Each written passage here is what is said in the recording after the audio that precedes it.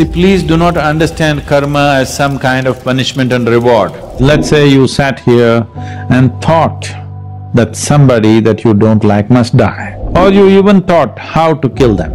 It has a certain level of impact on you. On another level, you had a thought, but not just a thought, a strong emotion. Now it has a much deeper impact upon you.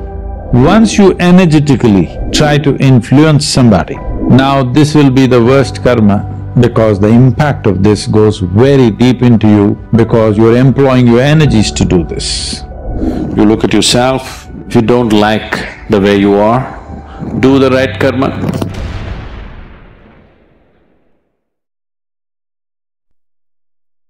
It is by your thought, by your emotion and your action, this is how you perform your action, isn't it?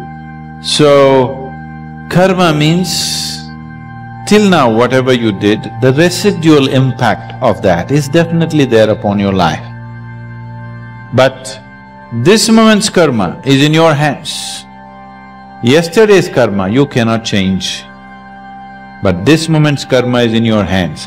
This moment's karma should… could be a karma of freedom or of bondage. If you do… if you handle this moment in a certain way, you will be from everything that was yesterday. If you do not handle it that way, yesterday will rule you today. This is also your karma. See, please do not understand karma as some kind of punishment and reward. It's not like that. It is just that everything that you touch with your mind, with your emotion, with your body, a bit of it sticks to you. The residual action is remaining with you. Yesterday, whatever you did, is it not there in your memory? Is it not there in your memory? Is it not influencing what you do today?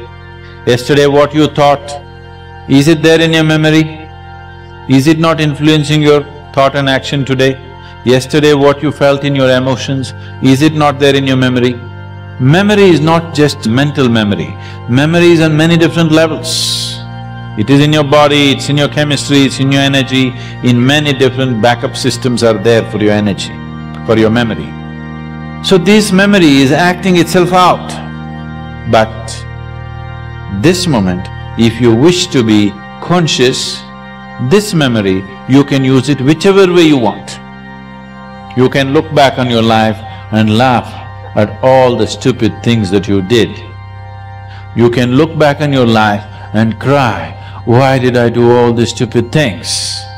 Or you can look back on your life and learn that, okay, I did all these stupid things yesterday, what is the smart thing that I can do today?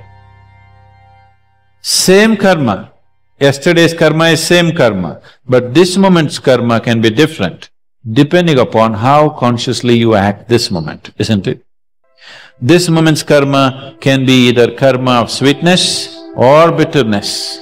Yesterday might have been sweetness or bitterness, you cannot change that. Can you change what you did yesterday?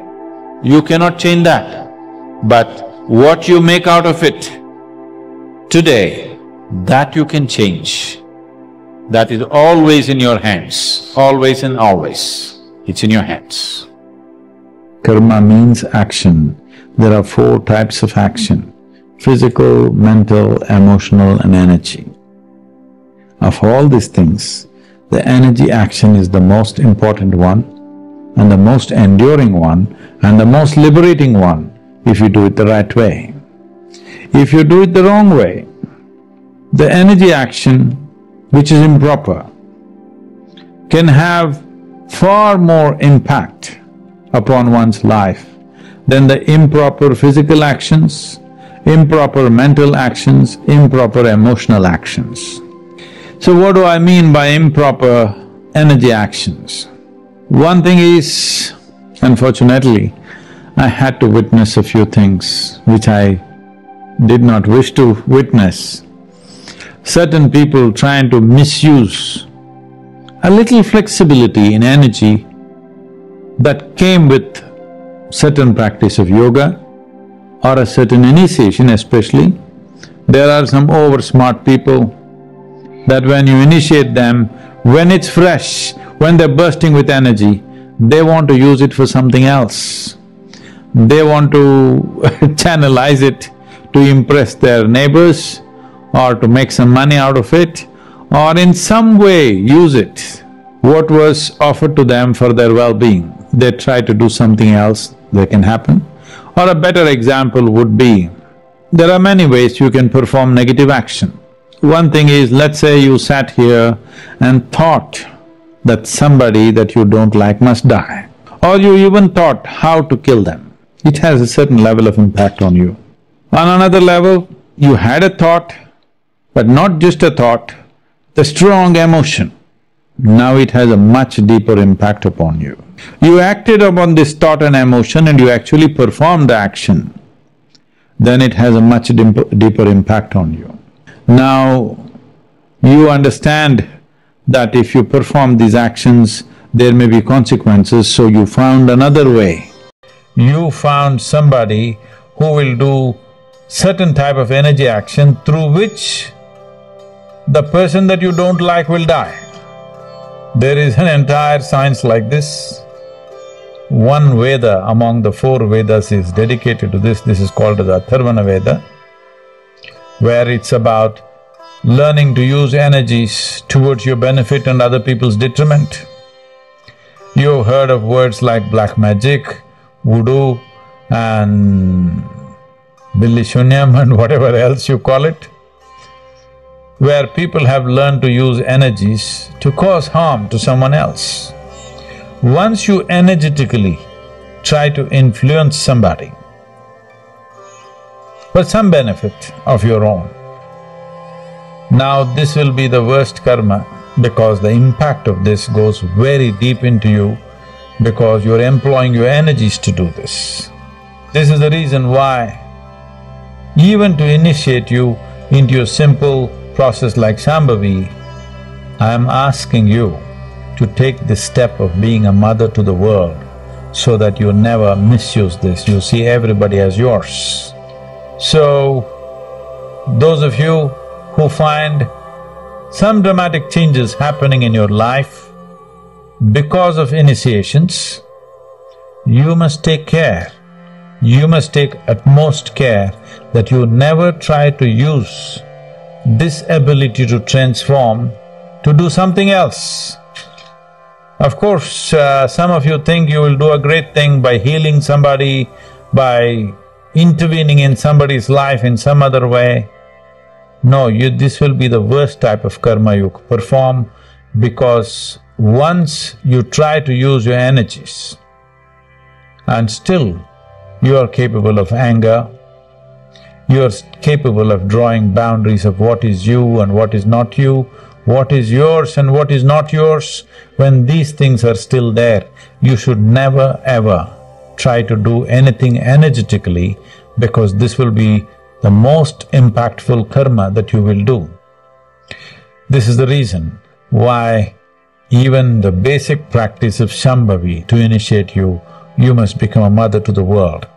And this is also a fantastic way to beat your karma if every moment of your life if you live with an inclusive emotion of being a mother to the world, not discriminating between what… what is yours and what is not yours. Right now you cannot help discriminating what is you and what is not you, but at least what is yours and what is not yours, if you take it away, you have solved the karmic puzzle ninety percent, believe me, ninety percent. Of all dimensions of karma, you have solved that puzzle remaining ten percent, I am there. So when ninety-nine percent of your actions are accidental or unconscious, you do one thing, you just drive here. Ninety-nine percent of the time, just close your eyes and simply sit like this. Once in a way, handle the steering. Let's see where you will be in five minutes. this is a disaster of human life. So you must understand this, this is the most profound dimension of Eastern cultures that we told you your life is your karma. This means your life is your making. There's no manager sitting up there and managing you. Your life is your karma. The way you make… do it is the way it happens. There is no… no other way. only because over ninety-nine percent is happening unconsciously, it looks like some other force is manipulating you. All bad drivers are like this, when they get into some kind of a crash. I was driving properly only, something happened. Have you heard this? Something happened, something supernatural happened and I crashed my car. No, you're just a dumb driver. so the same thing goes for life. The same thing goes for life that we constantly reminded you. Now in this generation, it's lost in probably maybe your mother or let's say your grandmother's generation, if they sit down, stood up, they said a karma, prarabdha, mukti, moksha, these are proper day-to-day conversation, not spiritual conversation. Yes or no? Every day. It's time you bring it back because karma means you're reminding yourself everything that I'm doing and not doing is my fundamental responsibility. You look at yourself, if you don't like the way you are, do the right karma,